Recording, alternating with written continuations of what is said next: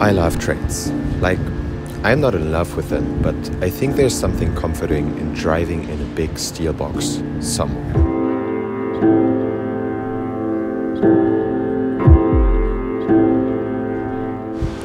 You know, Thoreau once said something along those lines of that people flee, shooting like arrows through the country aimlessly. It's stupid. But in times of today, where you're always so connected, it almost feels like a hiding place for me.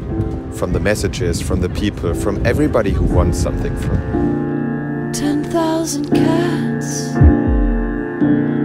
10,000 cats for me. There is an artist called Nina, I can't really pronounce her last name, who took this to the next level. She exclusively makes art on planes. How cool is that? Little swans made out of towels, wrapping the toilet in something funny, taking silly photos with your phone. People just assume she's another bored traveler killing time. She did it on more than 200 flights since 2010.